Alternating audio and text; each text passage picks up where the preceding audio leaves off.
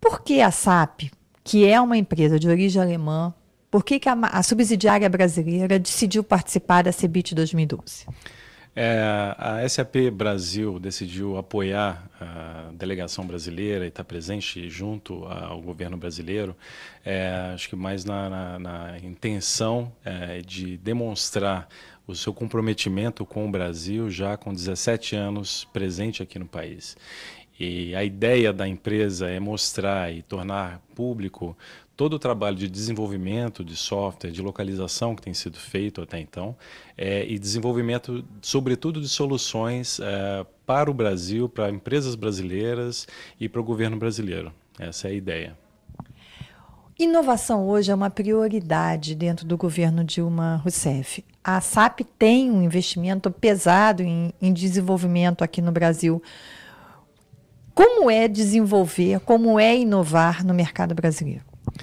Desde 2006 a empresa é, demonstra essa, essa inovação, esse investimento com o laboratório de desenvolvimento em São Leopoldo, laboratório que hoje atende não só o Brasil, mas também países da América Latina e a Europa Ibérica.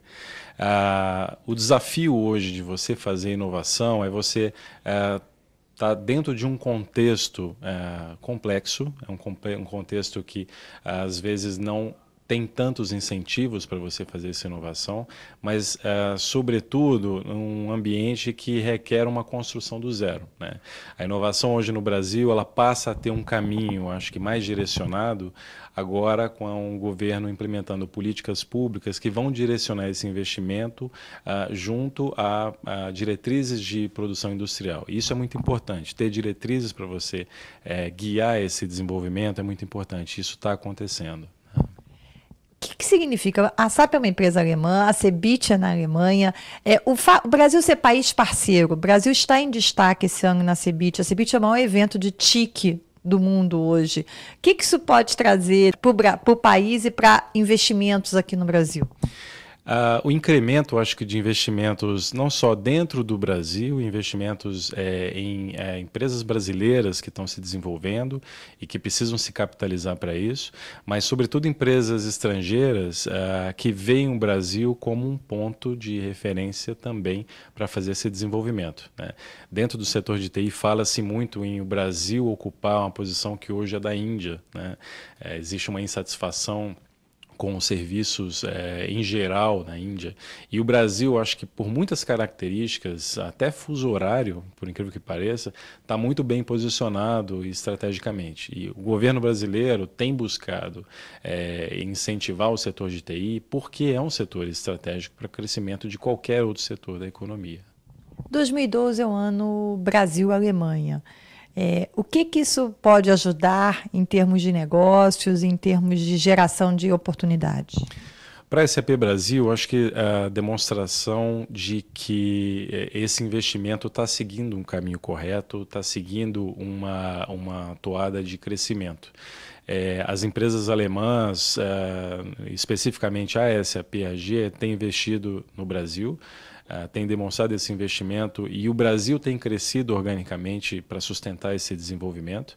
É, e o ano Brasil-Alemanha significa uma ratificação desse investimento e acho que um compromisso ainda maior entre os dois países. É você tratar de uma agenda bilateral com temas que perpassam o setor de TI, mas que são é, chaves para o crescimento do setor de TI. Formação de mão de obra, questão da própria inovação, questões é, bilaterais em, em, geral, que são super relevantes e que essa é uma demonstração prática de que os dois países estão buscando esse entendimento. Você colocou uma questão crucial hoje para o desenvolvimento de TIC no país, que é a questão da formação de mão de obra. É, políticas públicas são necessárias, estão sendo feitas, mas o que, que pode ser, na opinião da SAP, pode ser feito num curto prazo para tentar minimizar essa questão da falta de mão de obra qualificada para TIC no Brasil?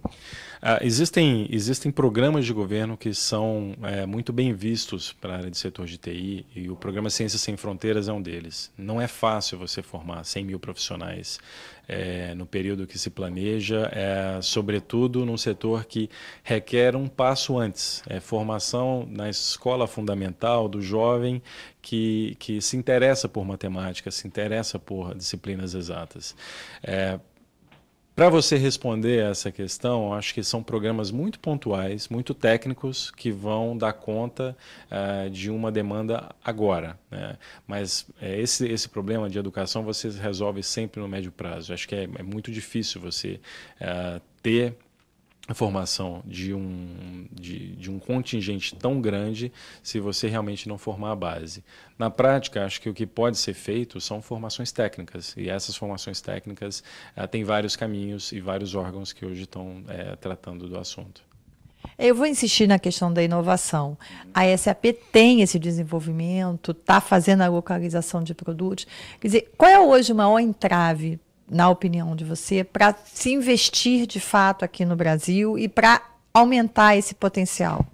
Eu acho que o Brasil pode é, melhorar ainda mais, aperfeiçoar ainda mais a sua política pública na área de incentivos à inovação. É, existem, existem vários é, recursos que se pode, que se pode ter para você fomentar esse desenvolvimento, seja da empresa brasileira, seja da empresa estrangeira que está no Brasil.